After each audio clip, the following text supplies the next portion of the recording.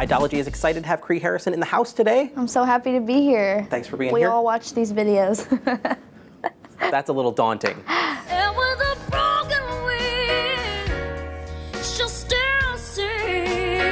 So the internet tells us, you know, mm-hmm. that you've been working towards a career in music for a long time. You know, we yeah. saw you as a little tot on Rosie O'Donnell. Um, we didn't see a lot of that on Idol or a little dis- a lot of discussion about, you know, that you kind of really paid your dues and fought for this career. But tell me a little bit about how close you got mm. to the dream and how hard it is, you know, in this business. I mean, I played my whole life. I sang my whole life.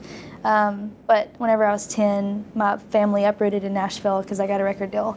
And um, yeah, that's pretty much where it started. And um, Rosie was a big thing for me because that was my first time on national television. And it'd be such an honor to sing on the Grand Ole Opry. The Grand Ole Opry. Yes, ma'am. I basically just tried to develop in Nashville as an artist, but I was such a baby that I didn't really know. Um, I knew more about what I didn't want than ex- than exactly what I wanted to be. Yeah, after you know tragedy in my family and and whatnot, I think uh, I just had to take a break and try to figure out exactly how I wanted to, to grieve and, and deal with the industry because it's such a fast paced uh, deal. So, I mean, I've learned so much from Nashville. I've lived there for 13 years, and uh, not just in the writing community, but just in the industry itself. Um, you have to learn to literally be yourself and nothing else because there's so many singer songwriters there. You're a, you're a needle in a haystack. Get familiar with the place, honey, because I think you'll okay. be singing there one day soon. So, at what point did you say, I'm going to go the American Idol route? Had it been something you'd thought about for a few years, or was this just like a recent epiphany? My sister actually said, you know, you should really think about trying out for Idol. And um, I mean, I never thought in a million years that I would do, for, for me, it was just a talent show. Um, and then once I realized that it was, uh, you know, basically a platform for artists to start their career, right. and how many amazing things that it's done for Carrie and, you know, Jennifer Hudson and um, Melinda. Like it's opened up so many doors uh, for artists, and I just it felt like the right thing to do at the time because I had nothing to lose. I wasn't signed, I wasn't with a publishing deal uh, or a label, so I'm really glad that I did it. And you don't strike me as a reality TV no. competition personality. You know, no, you're just not. a human being and, and, a musician. So you get to group rounds in Hollywood Week, and we were yes. talking about it before we went on camera. It was a very funny, like, a lot of trumped up drama. I got like maybe an hour sleep. And they didn't get anything. I think that kind of threw us off a little bit. Uh, writing up the arm, yeah. infighting, people up till 5:20 in the morning, and you literally did not say a word during no. the whole package except for throwing a line of music to one one of the girls who forgot her line. That's all you right. said. Well, I've been I'm so wasting my Oh my god. I'm sick of waiting. I need to go learn my words. I was very out of my element, but um, that being said, that's the challenge.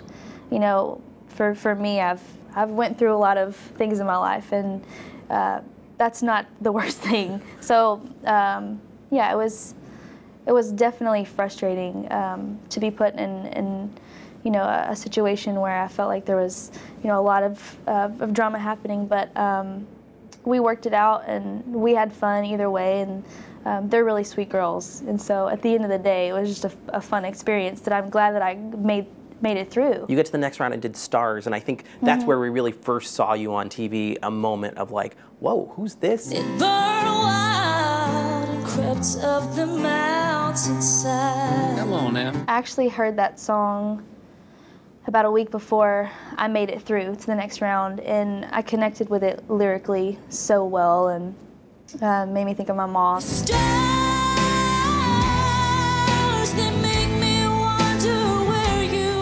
I told my sister, um, I think this is going to be good for me to do, um, to not just show myself as a country artist, but um, that I can, you know, be worldly and, and take a, a pop song right. and still make it sound like Kree.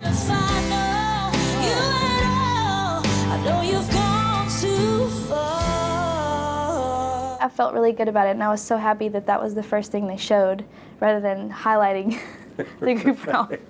right. Oh God. It was a blessing in disguise. Did yeah. you Google yourself the next morning, like to see what people were saying? Because I think there was a lot of buzz after Stars. No. No. no. No, I do not Google myself. I did not Google myself? You get to Vegas week, and you didn't have a lot of preseason hype. We basically knew yeah, you from my Stars. audition wasn't even aired. Was there a lot of pressure, like, okay, I've got to make a real impact with Up to the Mountain to, to make Yeah. sure I get through? And how did you come up with that particular song? I've always loved that song. Patty Griffin is one of my favorite singer-songwriters. Uh, I just thought it, it would be good. It would be a good song um, to connect with. I mean, it's got so much emotion and power. I see nothing at all. Each week, I would literally just go, okay, what makes sense now? Um, I never thought ahead because you, you just can't. You don't know if you're going to be there or not.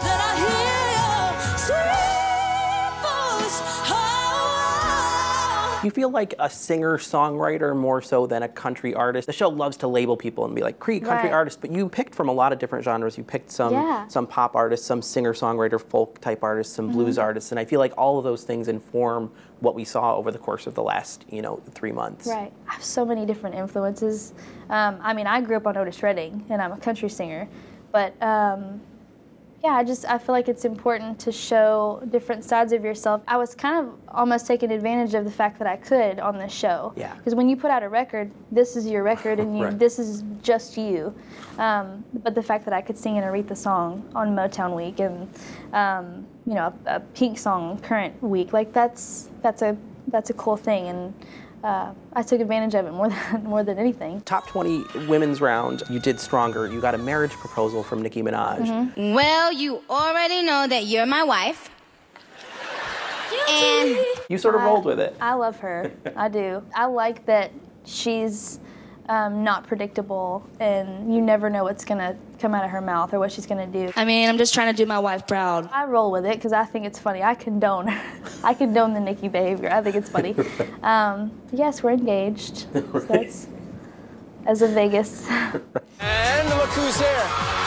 You come out of that round and you did a Susan Tedeschi song, Evidence, which to me was one of my favorite moments of the season. I was Mm-hmm. Almost hoping you would reprise it for your Oh, contestants' wow. reprisal. It makes me happy. It's a little risky to perform her on Idol. I don't think the average Idol viewer is really down with that. It was a selfish choice because I thought if I'm gonna make the top 10, I'm, I'm celebrating. I get to go on tour um, and thank all of these fans for getting me this far. I got enough to put you away. Susan Tedeschi's always been one of my favorites, and she's one that I would love to collaborate with actually. And I thought, I love this song, and I'm gonna just go out there and have fun with it. Do you think there's a shot for a collaboration? Has she tweeted you or added you or is my she on Twitter? Yeah, my, my friends um, and I have a thread, and we all worship Tedeschi Trucks Band. and uh, they showed that she followed me on Twitter, and I was like, I've made it. I made it. This is it. There's your like confetti shower. yeah, Let's go. that was it. So top 10 week, I think was one of your other great moments on the show was crying. Oh, um, thank you. And I liked that you picked something that maybe wasn't as iconic a Carrie performance, you know, Yeah. I- that wasn't as closely associated with her, and just did such was a. with me though. You know, I, I love her version of that song, and sorry I interrupted you. No, but no, I, no. I love Roy Orbison. It's timeless. It's a timeless melody. I figured, why not bring that back? Take advantage of the fact that we can show this new audience stuff that's they may not know anymore. Our generation, good country music. One of the more awkward moments of the season, I think, was top eight duet week with Janelle Mm-hmm. when you guys did like a prayer, and basically the judges were all like, Freedom almost made it look like she flew in to do a duet with an idol contestant. correct me if I'm wrong, but you looked a little bit like you were dying inside. Oh my God, please, why are we Well, yeah. getting into this? Is- don't how wanna weird be is that? flattered or complimented at the expense of someone else ever. Yeah. Especially me. Right. Um, so Janelle and I, we, we call each other. She calls me Patsy. I call her Dolly. There's room for both of us in country music. The beauty about both of us is that we're two totally different country artists. Yeah. And um, you know, Nicki, she she feels the way she does, and and that's actually why I love her because literally whatever she's thinking, she'll say. So um, yeah, it, it was it was a weird situation, but we're we're two strong girls, so we got through it. I'll try and wrap it in five. Sure. No, no, no problem. Top six week, I think, was my favorite week for you on the show. What the world needs now. Tell me a little bit about the acapella intro. Was that was that scary? No, because I wanted to, sh- you know, give something a little bit different um, with each performance, and I just felt like that one, it's such a sweet message. So just singing it out loud, um, Acapulco was fun. Is love, sweet love. Help me make it through the night. I do wish I would have written that song. Uh, Kris Kristofferson is one of my biggest influences as far as songwriting goes. So it was, you know, it was, I was honored to do it. Let the devil take tomorrow. Merle Haggard tweeted me how great I did the song, and I was just like, first of all, he tweets more than I do, and that's sad. and then, second of all, he's like one of my biggest influences. I could not believe that he was even speaking to me. You started around that top five, top four week to get some feedback from the judges where they would be like, we need you to perform more, we need to see more, Mhm. more Yeah. Passion in your face. I took it all as constructive criticism because you have to grow. You gotta like leave nothing on the table. You just can't, you know, be on cruise control. So I appreciated that they were not like, that was good, you know, rather than, this is really how we feel and this is what you should do next week. I know you, you have a, a weakness for hip hop a little bit or a guilty pleasure I do. for that. Guilty pleasure. Did you ever consider flipping a song like that into the country sphere? No. Because we've seen That's it done on Idol. pleasure. Okay. No, it's fun to, to dance and hang out with, with friends. Me and Amber will be doing some, some dancing on that bus, I'm sure. Did you ever consider doing one of your originals? I know you've got on YouTube, you would have wanted it that way, which to me is Thank you so much. incredible, incredible For song. even knowing that song, that makes me so happy. Well, wow. can thank your fans because they, they'll tweet and be like, "Have you heard this?" And I, I wondered, Wow. like, did you ever consider doing that one on the show? Because that that's I did. Like I always considered doing something I wrote, but um, I felt like there wasn't the opportunity was not appropriate for for me, um, and I, I don't regret it because now I get to save that stuff for the fans, you know, and um, yeah, I'm- hope to record that song. I love that song. I'm so happy that people know of it. It's really it's personal. It makes me happy that people like it. I've got two more questions because I know they're try trying to wrap us up here. Top four, take two. You did a Carrie Underwood song. Yeah. And when I saw you were doing a Carrie Underwood song that she'd sung on the show a few weeks prior, I was like, like I know, why I would you why would you do thing. that from a strategic standpoint? But I think you really took the song in a completely different direction. My approach was just to make it sound like myself, make it sound like Kree. Um, I, first of all, I love the lyric. Yeah. I think it's beautiful, and that was easy for me to connect with, for the obvious reasons.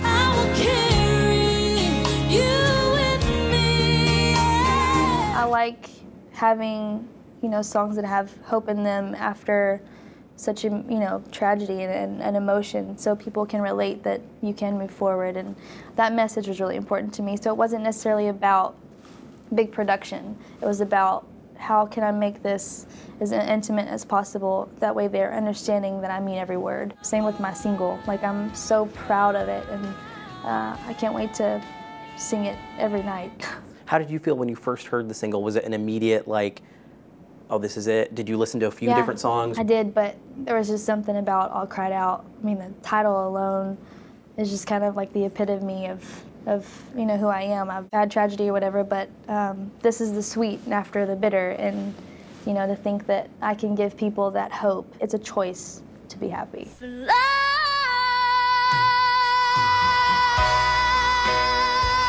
Hailee Steinfeld, and you're watching ENTV. Hi, my name is Kiernan Shipka, and you're watching ENTV. Aubrey Plaza, ENTV.